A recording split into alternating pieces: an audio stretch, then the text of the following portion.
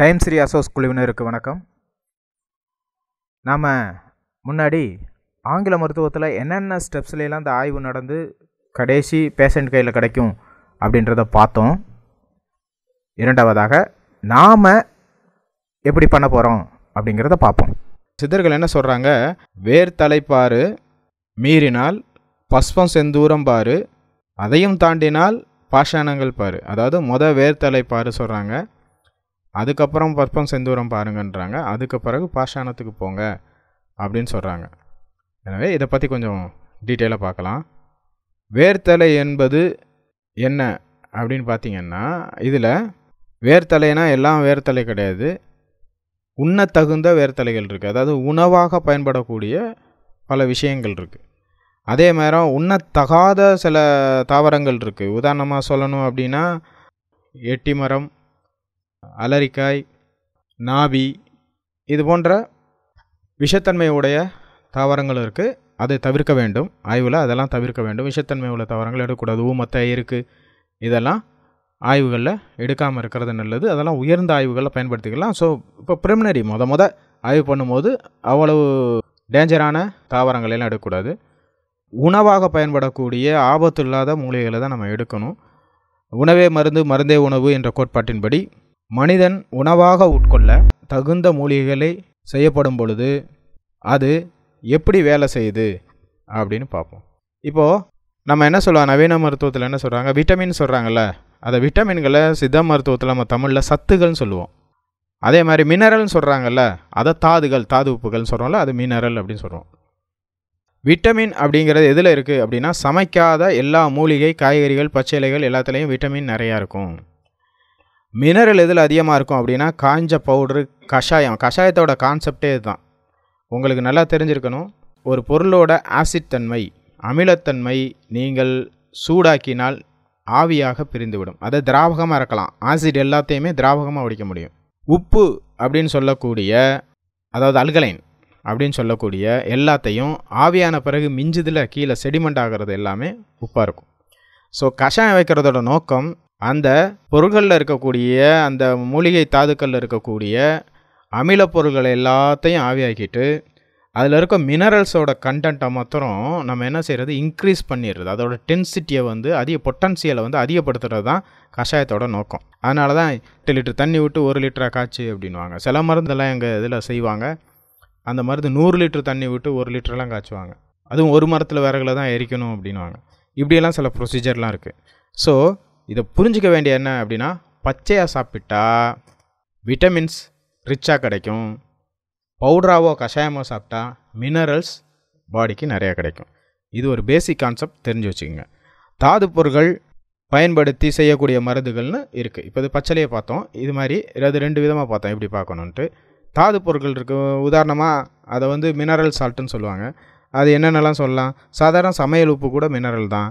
சிலாசித்து பவளம் சங்கு இது மாதிரி உடம்பை வந்து ரொம்ப டேமேஜ் பண்ணாத உடம்பில் இருக்கக்கூடிய தாது. இப்போது சங்கு பஸ்பம் அப்படின்னு சொன்னால் சங்குன்றது கால்சியம் உடம்புல இருக்கக்கூடிய ஒரு பொருள். இதெல்லாம் உடம்புல இருக்க ஃபாரின் பாடி கிடையாது. உடம்புக்கு ஒத்து வராத உடம்புல இல்லாத ஒரு பொருள் கிடையாது. உடம்புல இருக்க ஒரு பொருள். இந்த தாது பொருட்களை மருந்தாக பயன்படுத்துறது அப்படின்றது நம்மளுடைய பாரத தேசத்தில் ஒரு சித்தாந்தம். அதுக்கடுத்து உலோகங்கள். உலோகம் அப்படின்னா மெட்டல் இந்த மெட்டலில் வந்து தாமரை இருக்குது வெங்கலம் இருக்குது கருவங்கம் வெல்வங்கம் அதாவது ஈயம் இப்படியெல்லாம் இருக்குது உங்களுக்கு ஒன்று தெரியுமா? கேன்சருக்கு பயன்படுத்தக்கூடிய கேன்சர் பரவாமல் இருக்கிறதுக்காகவும் ஆரம்ப நிலையிலேயே முழுசாக அழிக்கிறதுக்காகவும் ஒரு மருந்து இருக்குது அதுக்கு பேர் பிளான்டின் அப்படின்னு பேர். சிஸ் பிளான்டின்னு சொல்லுவாங்க. Sis planting Carabao planting oxaliplatin வருது அது.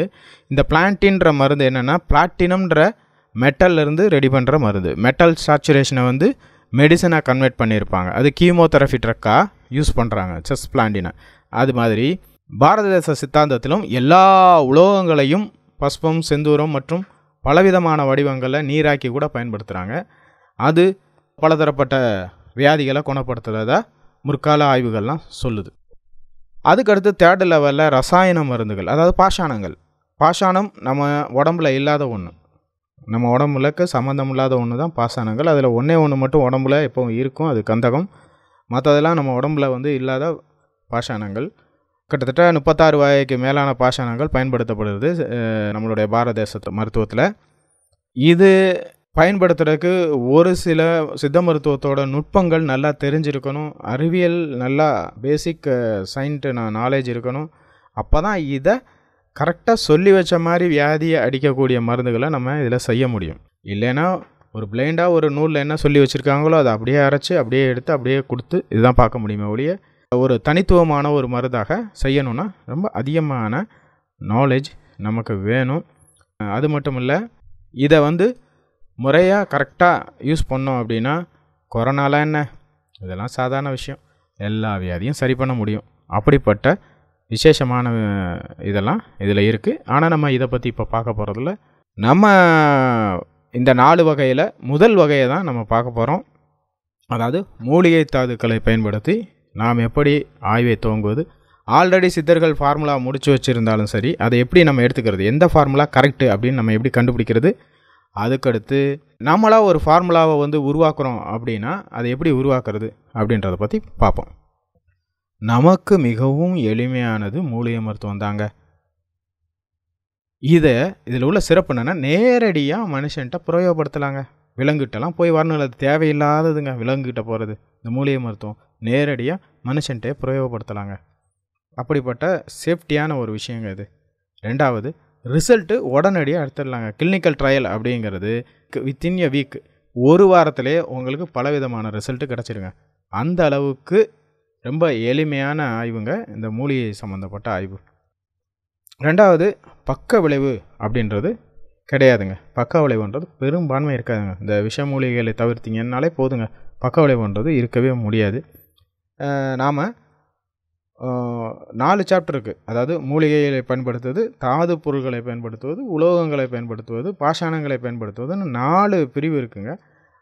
அதில் முதல் பிரிவான இந்த மூலிகை தாதுகளை பயன்படுத்தி எப்படி நம்ம ஆய்வு செஞ்சால் சித்தர்கள் எழுதி வச்சிருக்க குறிப்பில் இருக்கக்கூடிய அந்த பாடல்களில் இருக்கக்கூடிய இதுதான் கொரோனா வைரஸுக்கு ஏற்றது அப்படின்றத மொதல் ஒரு ஹைப்போத்தீசஸாக எப்படி கண்டுபிடிக்கிறது? நாமளே எப்படி அதை உருவாக்குறது? நாம் எப்படி அதை பொட்டன்ஷியல் பண்ணுறது அப்படின்னு மொதல் பகுதியாகவும் இரண்டாவது பகுதியில் தாது பொருட்களும் மூணாவது பகுதியில் உலோகங்களும் நாலாவது பகுதியில் பாஷாணங்களும் பார்க்க போகிறோம் ஃபஸ்ட்டு இந்த தயாரிப்பது எப்படி? இந்த மருந்து மூலிகைகளை பயன்படுத்தி என்ன ஃபார்முலா எப்படி என்ன மாதிரி தயாரிக்கிறது அப்படின்னு நான் உங்களுக்கு சொல்லிக் கொடுக்க போகிறேன் இந்த ஆய்வை நீங்கள் இது மாதிரி பண்ணீங்கன்னா நீங்களும் ஒரு சித்த விஞ்ஞானியாக மாற முடியும். ஓகேயா ரெடியாக இருங்க. ஆர்வத்தோட காத்துருங்க. அடுத்த வீடியோ நீங்கள் எப்படி இதை ரெடி பண்ணுறது என்ன மாதிரி ஆய்வு பண்ணி இதை ஃபைண்ட் அவுட் பண்ணி வெளியே கொண்டு வர்றது அப்படின்றத பற்றி சொல்கிறேன் ஜெய்ஹிந்த்